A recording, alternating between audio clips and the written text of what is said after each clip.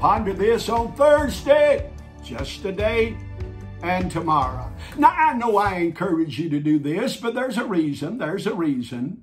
I encourage you to hit share, all right, on either uh, our YouTube channel, if you're listening to us on that or on Facebook. Most people, most people that follow me, follow me on Facebook, okay? But whichever one. If you're enjoying Ponder This, then why don't you share it? Let other people know about it. I know, I know, I know there's a lot of people that could care less about hearing a preacher in the middle of the day. But I'll guarantee you there's somebody out there that needs to hear what, what, what I'm endeavoring to say to inspire, to lift up, all right, sowing some seed. And you can be a sower. God told me that one time. Well, I, I was in, uh, my wife and I boys were in Central California preaching a revival meeting, and I'd done back to back meetings for months.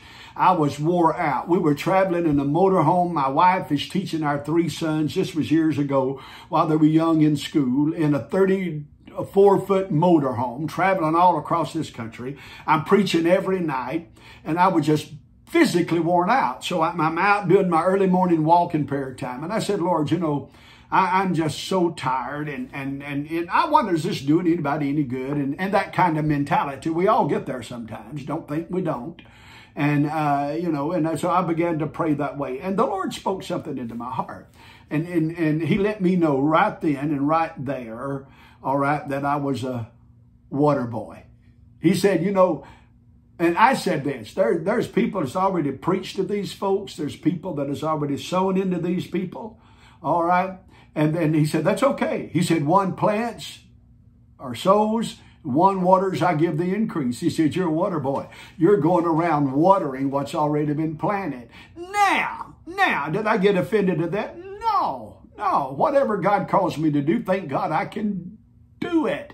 All right. And I'm willing to do it. So what we need to understand is we need we need to grab a hold of God's word. We need to start sowing that word, and we do it by hitting share on some preacher that has blessed you or teacher that has blessed you. And you become a part of the sowing. You become a part of the watering of the seed that's already been sown. All right, I've taken almost two and a half minutes on that part, but you needed to hear it. Okay, get this now. Get this. Gimmicks, gadgets, and goodies do not produce conversions, healings, or deliverances. It took his power to start the church.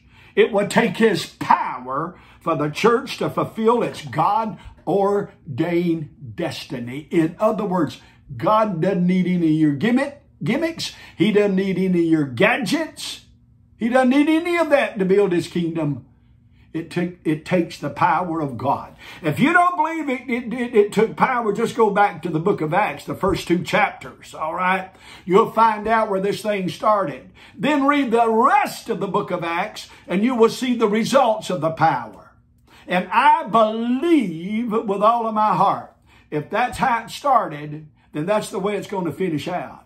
We are going to leave this old world a powerful church, not a beat down, burdened down, barely making it church. No, sirree. We came out, came in in power. We're going to leave in power. Forget the gimmicks. Forget the Hollywood holiness garbage. Grab a hold of the power of the Holy Ghost uh, and know that with that Holy Ghost power, we will complete what God gave us the ability to complete what He started with the apostles in the book of Acts. God love you. God bless you. I could preach on that a while, but I'm out of time. I'll do it sometime though, guaranteed. God bless you. Love you. You are free.